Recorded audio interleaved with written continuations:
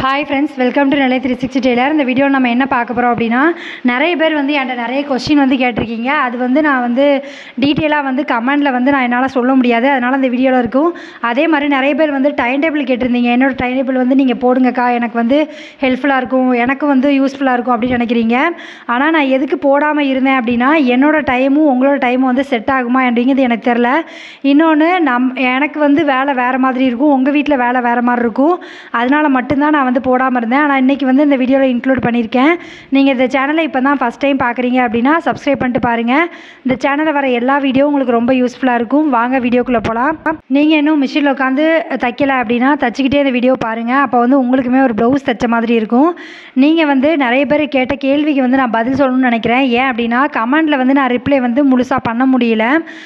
என்ன அப்படின்னா நிறைய பேர் வந்து நீங்கள் எப்போவுமே வந்து மோட்டிவேஷனல் டிப்ஸும் டைம் மேனேஜ்மெண்ட் டிப்ஸும் தான் போடுறீங்க ஸ்டார் எனக்கு வந்து தைக்கிறதும் கட் பண்ணுறதும் போடுங்க அப்படின்னு சொல்கிறீங்க நான் அந்த மாதிரி நிறைய வீடியோ வந்து முதல்ல போட்டிருக்கேன். ஆனால் எனக்கு வந்து வியூஸ் எதுவுமே போகலை. இந்த மாதிரி வீடியோ போடும்போது எனக்கு வியூஸ் போகுது. அதனால் அப்போ நீங்கள் வந்து அதை தான் எதிர்பார்க்குறீங்க அப்படிங்கிறதுக்காக தான் இந்த வீடியோ போடுறேன்.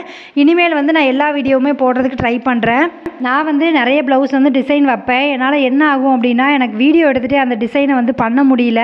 ஏன்னா நான் வந்து ஏதோ ஒரு இடத்துல வந்து தப்பாயிட்டு அப்படின்னா பிரித்தேன் அப்படின்னா அதை கட் பண்ணணும் அப்படிங்கிறதெல்லாம் கவனிக்காமல் நான் பாட்டுக்கு பண்ணிடுறேன். அதுக்கப்புறம் பார்த்தா வீடியோ பாதியில் நின்றுருக்கும். நான் அதை கூட கவனிச்சிருக்க மாட்டேன். அதனாலேயே நிறைய வீடியோ வந்து என்னால் போட முடியாமல் இருக்கும். ஆனால் இனிமேல் வந்து ஒரு டிசைன் வச்சாலும் எந்த டிசைன் வச்சாலுமே நான் உங்களுக்கு வந்து அதை வந்து நான் வீடியோவை எடுத்து போடுறதுக்கு ட்ரை பண்ணுறேன் அதே மாதிரி நீங்கள் நிறைய பேர் என்ன பண்ணுறீங்க அப்படின்னா பிகினராக இருக்கவங்களுக்கு பிகினராக இருக்கவங்க இல்லை நான் வந்து டெய்லி தைக்கிறேன். ரொம்ப வருஷமாக தைச்சிட்ருக்கேன் அப்படிங்களுக்கு என்னென்னா ஒரு சின்ன சோறு வரும். நான் வந்து மோட்டிவேஷனல் வீடியோ போடுறதுக்கு காரணம் என்னென்னா டெய்லி வந்து ஒருத்தங்க வந்து ஒரு வீடியோ பார்த்துட்டு நான் வந்து தைக்க ஆரம்பிக்கிறேன் அப்படின்னு நிறைய பேர் கமெண்ட் பண்ணுறீங்க அக்கா உங்கள் வீடியோ பார்த்ததுலேருந்து நான் வந்து தைக்கவே ஸ்டார்ட் பண்ணுறேன் அப்படின்னு நினைக்கிறீங்க. அப்படி இருக்கிறவங்களுக்கு நான் வீடியோ போட்டேன் அப்படின்னா அவங்களுக்கு வந்து அது ஈஸியாக இருக்கும். அவங்க வந்து ஒரு ப்ளவுஸ் தைச்சிருவாங்க அப்படிங்கிற ஒரே ஒரு ரீசனுக்காக தான் நான் மோட்டிவேஷனல் வீடியோ நிறைய போடுறேன். ஏன்னா நிறைய பேருக்கு வந்து ஸ்டார்ட் பண்ணி விட்டோம் அப்படின்னா அவங்க கடகடன்னு தைக்க ஆரம்பிச்சிருவாங்க. அந்த ஸ்டார்டிங் ட்ரபிள் மட்டும் தான் இருக்கும். அதுக்காக தான் நான் வந்து நிறைய மோட்டிவேஷனல் வீடியோ போடு வந்து போடுவேன். டெய்லி வந்து இதில் நிறைய பேர் கமெண்ட் பண்ணுறீங்க ஏக்கா நீங்கள் வீடியோ போட்டோன்னு தான் நான் தைக்க உட்காடுறேன் நான் அதுக்கப்புறம் தான் சுறுசுறுப்பாக தைக்கிறேன். உங்கள் வீடியோவை எதிர்பார்த்துட்ருக்கேன் அப்படின்னு சொல்கிறவங்களுக்கு நான் வந்து மோட்டிவேஷனல் டிப்ஸ் வந்து போட வேண்டியதாக இருக்குது இந்த வீடியோ பார்க்குற எத்தனை பேர் வந்து என்னோட வீடியோ பார்த்த உடனே நான் வந்து தைக்க உட்காந்துருவேன்க்கா எனக்கு வந்து சுறுசுறுப்பாக இருக்கும் அப்படின்னு சொல்கிறவங்க கீழே கமெண்ட் பண்ணுங்கள் பார்க்கும்போது நானுமே ரொம்ப சந்தோஷப்பட்டுக்கிடுவேன். நான் வந்து வீடியோவில் பேசுகிற எல்லா விஷயங்களுமே பேப்பரை வச்சு எழுதி நான் வந்து இன்றைக்கி இதுதான் பேசணும் அப்படிங்கிற மாதிரி நான் எந்த வீடியோவுமே போட்டதில்லை இது வரைக்கும். எல்லாமே எனக்கு அன்னைக்கு என்ன தோணுது அப்படிங்கிறத வச்சு தான் நான் போடுறது. இன்னொன்று என்னென்னா நம்ம வந்து நிறைய விஷயம் வந்து நம்ம தப்பு பண்ணியிருப்போம். அதை வந்து நீங்கள் பண்ணிடக்கூடாதுங்காக தான் நிறைய வீடியோவில் வந்து நான் போடுறது. ஸ்டார்டிங்கில் நம்ம வந்து எல்லா தப்பும் பண்ணி டைம்லாம் வேஸ்ட் பண்ணி கடைசி வரைக்கும் கஸ்டமர்கிட்ட கொடுக்காம இருந்து அந்த மாதிரி தான் நம்ம வந்து இருந்திருப்போம். போக போக வந்து அதெல்லாம் பழகியிருப்போம். அதாவது நம்ம அதை கரெக்ட் பண்ணி அடுத்து நம்ம என்ன பண்ணலாம் எப்படி பண்ணால் நமக்கு வந்து சுறுசுறுப்பாக தைக்க முடியும்? அதெல்லாம் வந்து ட்ரை பண்ணியிருப்போம் அதை தான் நான் வந்து உங்களுக்கு வீடியோவாக கொடுக்க ட்ரை பண்ணியிருக்கேன் உங்களுக்கு நான் போட்ட வீடியோ எல்லாத்துலேயுமே வந்து நான் பண்ண தப்பு நான் வந்து எதை வந்து கரெக்ட் பண்ணி வந்து ப்ளவுஸ் வந்து நிறைய கற்று தைக்கிறது கற்றுக்கிட்டேன் இந்த மாதிரி விஷயங்கள் தான் வந்து என்னோடய வீடியோவில் நிறைய இருக்கும். நான் இன்னொருத்தங்களை பார்த்து கற்றுக்குறேன் அப்படிங்கிறத விட நானே என்னை வந்து சரி பண்ணணும்னு ட்ரை பண்ணுவேன். இது இப்படி பண்ணால் எனக்கு வந்து லேட் ஆகுது அப்படின்னா இதுக்கு இதை பண்ணால் நம்ம வந்து கரெக்டாக இருக்கும் அப்படிங்கிற மாதிரி நான் வந்து என்னையவே வந்து மாற்றிக்கிட்டு அதுக்கப்புறமா தான் தைக்க ஆரம்பித்தேன் ஸ்டார்டிங் ஸ்டேஜில் நானுமே ரொம்ப லேட்டாக தான் தைப்பேன். அதாவது ஒரு ப்ளவுஸ் ஒன் ஹவர்லாம் ஆகும். இப்போ வந்து பழகிட்டேன். நிறைய விஷயங்கள் வந்து நான் மாற்றிக்கிட்டேன் அதனால் அதனால் வந்து எனக்கு வந்து டைம் வந்து கம்மியாக தான் சே- ஆகுது. என்னோடய டைம் டேபிள் வந்து நான் உங்களுக்கு எப்படி போட்டேன் நான் வந்து எப்படி வந்து டெய்லி போடுறேன் அப்படிங்கிறத உங்களுக்கு இந்த வீடியோவில் சொல்லியிருக்கேன். வாங்க பார்ப்போம் ஃபஸ்ட்டு வந்து நான் அன்னைக்கு எந்த ப்ளவுஸ் எல்லாம் கொடுக்கணும் அப்படிங்கிறதான் ஃபஸ்ட்டு எழுதுவேன். அந்த ப்ளவுஸ் எல்லாத்தையும் அதாவது முக்கியமாக நான் இந்த ப்ளவுஸ் எல்லாம் இன்றைக்கி கொடுக்கணும் அப்படிங்கிற ப்ளவுஸை தான் எழுதியிருப்பேன். இது இன்றைக்கி உள்ள டேட்டில் உள்ளது தான் நான் வந்து இன்றைக்கி அஞ்சு ப்ளவுஸ் வந்து பிளான் பண்ணியிருக்கேன். அது போக நான் தைக்கிறது எல்லாமே வந்து அடுத்த நாள் வந்து நான் கன்வே பண்ணிக்கிடுவேன். ஃபஸ்ட்டு வந்து என்னோடய டைம் டேபிள் வந்து எப்படி இருக்கும்னா நான் கொடுக்க வேண்டிய ப்ளவுஸு இன்றைக்கி வந்து நான் கண்டிப்பாக கொடுக்கணும் அப்படிங்கிற ப்ளவுஸ் இருக்கும்.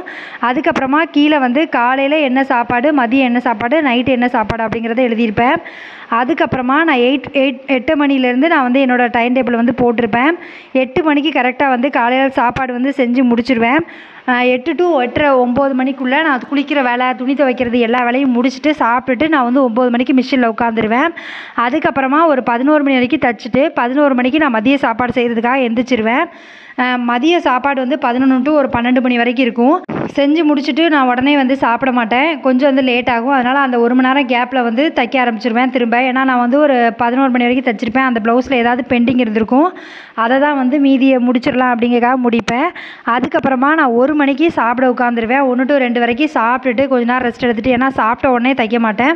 அதனால் சாப்பிட்டு முடிச்சுட்டு கொஞ்ச நேரம் ரெஸ்ட் எடுத்துகிட்டு அதுக்கப்புறமா ஒரு ரெண்டு மணி சில டைம் ரெண்டரைக்கு கூட உட்காந்துருக்கேன் உட்காந்துட்டு ஒரு அஞ்சு மணி வரைக்கும் நான் வந்து தைப்பேன். அதுக்கப்புறம் அஞ்சு மணிலேருந்து ஆறு மணி வரைக்கும் என் பாப்பா கூட சும்மா பேசிக்கிட்டு விளையாண்டுக்கிட்டு காஃபி குடிச்சிக்கிட்டு பிஸ்கெட் ஏதாவது வாங்கிட்டு வர சொல்லி சாப்பிட்டுட்டு அப்படியே அந்த மாதிரி இருக்கும். அதுக்கப்புறம் ஒரு ஆறு மணிக்கு நான் டெய்லரிங்கில் உட்காந்துருவேன். அந்த ஏ- ஏழரை எட்டு மணிக்குள்ளே நான் முடிச்சுட்டு எட்டு மணிக்கு நைட்டு சாப்பாடு செய்யறதுக்கு போயிடுவேன். நான் அதுக்கு அந்த டைமுக்குள்ளே நான் எவ்வளோ ப்ளவுஸ் முடிக்கணும் அதுதான். அதுக்கப்புறமா என்ன பண்ணுவேன்னா அந்த எட்டு மணி வரைக்கும் தைச்ச தச்ச ப்ளவுஸ் எல்லாத்தையுமே வந்து ஒரு ஒம்பது மணிக்கு எடுத்து திரும்ப வந்து நைட் டிஃபன்லாம் முடித்து சாப்பிட்டுட்டு நான் ஊக்கு வைக்கிற வேலையெல்லாம் முடிச்சுட்டு அதுக்கப்புறமா நான் வந்து கட் பண்ணுறதுக்கு எடுத்து வச்சிருவேன். இப்படி தான் வந்து என்னோடய டைம் டேபிள் போகும். நீங்கள் வந்து என்ன மாதிரியே உங்களுக்கு வந்து தைக்கணும் அப்படிங்கிறதுக்கு டைம் டேபிள் போடணும்னு கிடையாது. உங்களுக்கு வந்து எந்த டைம் இருக்குது உங்களுக்கு வேலை எப்படி இருக்குது அப்படிங்கிறத பொறுத்து நீங்கள் வந்து இதில் மாற்றிக்கலாம் இதேபடி தான் நீங்கள் தைக்கணும் அப்படிங்கிறது கிடையாது. இது வந்து நான் லீவுனால இப்படி போட்டிருக்கேன். மற்றபடிக்கு நான் லீவு இல்லை ஸ்கூல் போயிட்டுருக்காங்க குழந்தைங்க அப்படின்னா நான் வேறு மாதிரி தான் டைம் டேபிள் வச்சுருப்பேன்.